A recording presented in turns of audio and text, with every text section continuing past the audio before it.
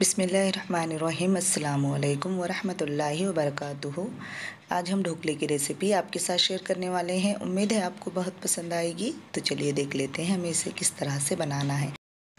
यहाँ पर हम एक बाउल ले लेते हैं, उसमें छन्नी लगा लेते हैं और उसमें एक कप और वन फोर्थ कप बेसन का आटा शामिल कर लेना है और इसे ऐसे छान लेना है। हमें इसे अच्छे से छान लेना है। इस बैटर में लम्स नहीं आएँगे। अगर आप ऐसे छान कर लेंगे तो और ढोकला बनाएँगे तो छन्नी करके ही बेसन आप इस्तेमाल करें।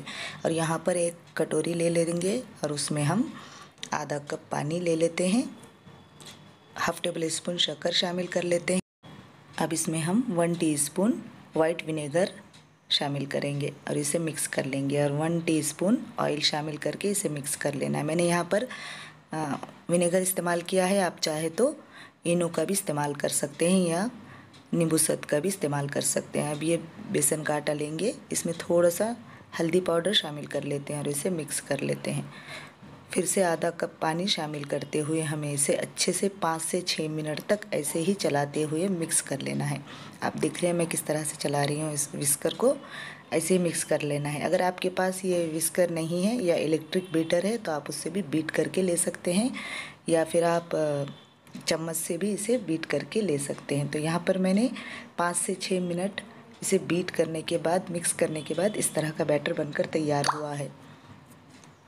तो ये देखिए, अब इसे हमें साइड में रख देना है। अब यहाँ पर हम एक केक टिन लेंगे। केक टिन को हमने अच्छे से ऑयल से ग्रीस कर लेना है और मैंने यहाँ पर एक पैन को गैस पर रख दिया है और उसमें मैंने तीन कप पानी शामिल करते हुए एक स्टैंड लगा लिया है और इसे ढक कर बॉईल होने देते हैं। अब यहाँ पर पानी अच्छे से बॉईल हो रहा है। पानी बॉईल हो रहा है तो अब ये बैटर लेंगे। ये 20 मिनट हो गए हैं, मैंने इसको रखे। तो अभी इसे ले लेते हैं और इसमें हम वन टीस्पून बेकिंग सोडा शामिल कर लेते हैं और इसे अच्छे से मिक्स कर लेना है। ये देखिए, अच्छे से ईयर भर जानी चाहिए, इतना हमें इसे मिक्स कर लेना है। अच्छे से फ्लफ़ी बैटर बनकर ये तैयार होना चाहिए। तो यहाँ पर देखिए, ये बैटर बन के तैयार है, कितना फ्लफ़ी बना है। आप इसे इसे इस केक टिन में निकाल लीजिए। और इसे निकाल कर अब जो बॉईल हो रहा है पानी, उसमें हमें ये रख देना है और इसे ढाँक देना है। और 15 से 20 मिनट तक आपको इसे बेक करके ले लेना है। बीच बीच में एक से दो बार आप इसे चेक कर सकते हैं।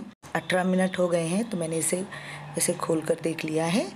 ये देखिए, ये अच्छे से फूल गया है ढोकला और बहुत अच्छा बेक भी हुआ है। ये आपको मैं इस स्टिक से बताती हूँ, ये देखिए। स्टिक क्लियर है, इसका मतलब है ढोकला बनकर तैयार हो गया है। आप चाहे तो ऐसे नाइफ़ से भी इसे चेक कर सकते हैं। ये नाइफ़ क्लियर है, ये देखिए। तो ये तैयार है, अब हम इसे निकाल लेते हैं। गैस की फ्लेम को हमें बंद करके इसे हमें निकाल कर ठंडा कर लेना है। एक स्टैंड पर रख दीजिए और इसे ठंडा होने दीजिए। अब जब तक ये ठंडा हो रहा है, हम इसका तड़का बना लेते हैं। तो यहाँ पर मैंने एक पैन ले लिया है, उसमें थोड़ा सा ऑयल ले लेना है। वन टीस्पून राई शामिल कर लेते हैं। वन टेबल स्पून ज़ीरा शामिल कर लेते हैं और इसे अच्छे से तड़कने देते हैं और गैस की फ्लेम को बंद कर देना है और उसमें कड़ी पत्ता शामिल कर लेना है, जो कड़ी ल्यूज़ होते हैं। और चार हरी मिर्चों को ऐसे चीर कर शामिल कर लेना है और इसे मिक्स कर लेना है। अच्छे से मिक्स कर लीजिए और फिर हमें इसमें आधा कप पानी शामिल कर लेना है। हाफ़ टेबल स्पून शक्कर शामिल कर लेते हैं। हाफ़ टेबल स्पून नमक शामिल कर लेते हैं और गैस की फ्लेम को ऑन कर देते हैं और इसे अच्छे से बॉईल होने देते हैं। ये देखिए, ये अच्छे से बॉईल हो रहा है। अब गैस की फ्लेम को हम बंद कर देंगे। अब इसे साइड में रख देते हैं ठंडा होने के लिए। और यहाँ पर ये ढोकला ठंडा हो गया है और इसे हमें साइड से किनारों से ऐसे निकाल लेना है। और इसे एक प्लेट लगा लेंगे और ऊपर से थोड़ा सा टैप कर लेना है। ये देखिए, ऐसे टैप करने के बाद ये आराम से आहिस्ता से निकलेगा, लेकिन इसे अच्छे से ठंडा कर लेना है हम। तभी ये ढोकला केक टिन से अच्छे से निकल जाएगा, नहीं तो ये टूट भी सकता है। अब ये देखिए, इसे हमें साइड से कट करके इसे साइड में रख देना है और इसके ऐसे छोटे छोटे पीसेज हम कट करके ले लेते हैं।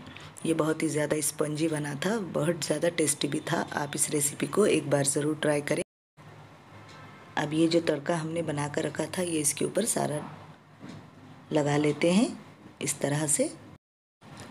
अगर मेरे चैनल पर आप नए हैं तो सब्सक्राइब किए बिना ना जाएँ। अगर आपको मेरी रेसिपीज़ पसंद आती हों तो ज़्यादा से ज़्यादा अपने फैमिली और फ्रेंड्स में शेयर कीजिए। अब हम ढोकले के साथ खाने वाली चटनी बना लेते हैं। तो हमने यहाँ पर हरा धनिया लिया है, दो हरी मिर्चों को टुकड़े कर लिए हैं और एक इंच अदरक का टुकड़ा ले लिया है। और ये जो ढोकला हमने साइड से निकाल के रखा था किनारों का, वो उसमें शामिल कर लेना है। और उसमें थोड़ा सा नमक और पानी शामिल करके इसे ऐसे पीस कर चटनी बना लेनी है। ये चटनी ढोकलों के साथ बहुत ज़्यादा टेस्टी लगती है, आप इसे ज़रूर ट्राई करें। तो चलिए यहाँ पर चटनी बन के तैयार है, ढोकला भी तैयार है, हम इसे सर्विंग प्लेट में निकाल लेते हैं। तो कैसी लगी आपको ये रेसिपी अगर आपको ये रेसिपी पसंद आई हो तो मेरी रेसिपी को ज़्यादा से ज़्यादा अपने फैमिली और फ्रेंड्स में शेयर कीजिए। अगर मेरे चैनल पर नए हैं तो सब्सक्राइब किए बिना ना जाएँ। अच्छी अच्छी रेसिपीज़ के लिए मेरे चैनल पर एक बार ज़रूर विज़िट कीजिए। दुआओं में याद रखिए। थैंक्स फॉर वॉचिंग अल्लाह हाफिज़।